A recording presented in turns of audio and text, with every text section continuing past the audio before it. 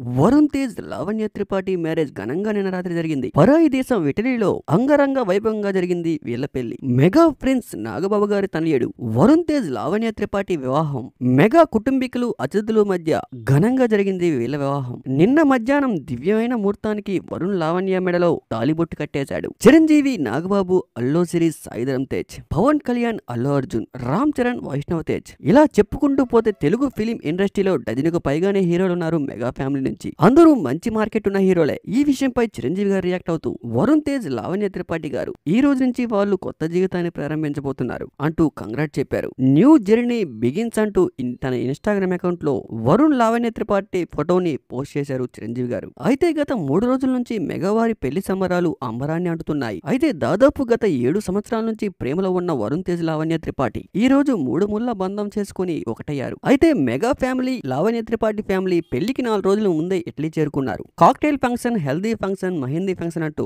దాదాపు డజనుకు పైగా ఫంక్షన్లు చేశారు. అయితే వరుణ్ లావణ్య లవ్ జర్నీ మొదలైనప్పటి నుంచి ఇటలీలో ఫ్రెండ్స్ అండ్ ఫ్యామిలీ మెంబర్ సమక్షంలో ఘనంగా పెళ్ళి చేసుకున్నారు వరుణ్ లావణ్య త్రిపాఠి. ప్రస్తుతం వరుణ్ లావణ్య వెడ్డింగ్ సంబంధించిన కొన్ని ఫోటోస్ సోషల్ మీడియాలో వైరల్గా మారాయి. టాలీవుడ్ ఇండస్ట్రీలో చాలా మంది ప్రేమించి వివాహం చేసుకున్నారు.